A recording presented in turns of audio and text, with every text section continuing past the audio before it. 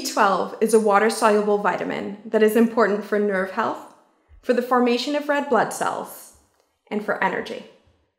When we're low in this vitamin, we can experience low energy or mood, brain fog, numbness or tingling in the hands and feet, or anemia.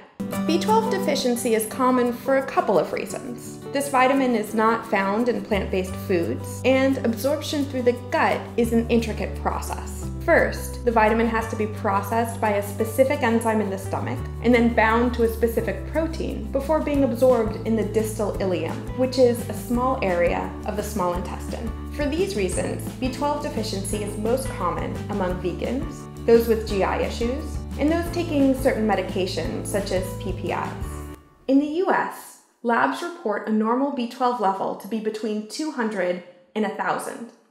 But I have found that most people feel best at a level of at least 4 or 500. In fact, in Japan, the cutoff for a normal level is at least 500. So if you'd like to take a B12 supplement, there are two things to keep in mind the type of B12 you're taking and the form of the supplement. Cyanocobalamin is the most common type of B12 in supplements, but this is a synthetic precursor to the active form and it contains cyanide.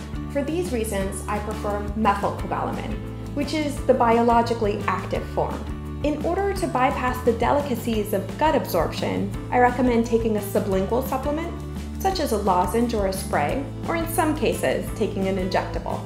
Remember that since B12 is a water soluble vitamin, it is safe for almost anyone to take.